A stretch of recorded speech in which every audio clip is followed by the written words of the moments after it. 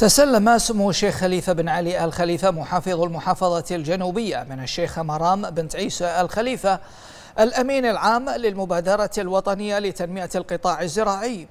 كأس سمو الشيخ عبد الله بن حمد الخليفة لأفضل حديقة صديقة للبيئة والذي استحقته المحافظة الجنوبية عن فئة المؤسسات الحكومية والمحافظات وذلك في نسختها الرابعة والخمسين للمسابقة السنوية لنادي البحرين للحدائق.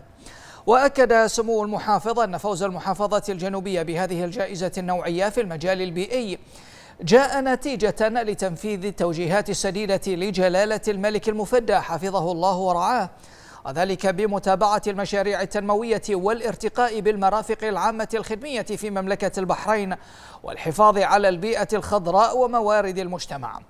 مشيدا بالدعم المستمر واللامحدود لصاحب السمو الملكي ولي العهد رئيس مجلس الوزراء حفظه الله لكافة الجهود المبذولة في سبيل تنفيذ رؤى التطوير والتنمية المستدامة. كما قدم سمو محافظ المحافظة الجنوبية جزيل الشكر والعرفان للدعم الكبير من قبل صاحبة السمو الملكي الأميرة سبيكة بنت إبراهيم آل خليفة قرينة عاهل البلاد المفدى رئيسة المجلس الأعلى للمرأة رئيسة المجلس الاستشاري للمبادرة الوطنية لتنمية القطاع الزراعي. وما توليه سموها من دعم ورعاية كريمة وإسهامات مستنيرة في مجال الحفاظ على المواقع الطبيعية وتنمية القطاع الزراعي في مملكة البحرين. مشيدا سموه بمتابعة وحرص الفريق أول معالي الشيخ راشد بن عبد الله آل خليفة وزير الداخلية وتشجيعه المستمر للمشاركة في المبادرات التي تسهم في نشر الثقافة في نشر ثقافة الشراكة المجتمعية في كافة المجالات الحيوية التي تمس المواطنين والمقيمين.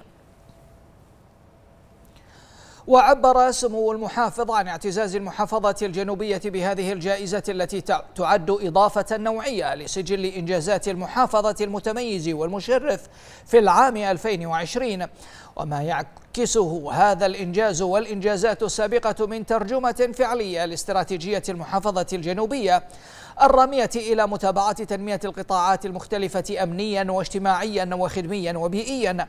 وإبراز ما تزخر به المحافظة من مرافق وخدمات عامة متميزة تلبي تطلعات المواطنين والمقيمين.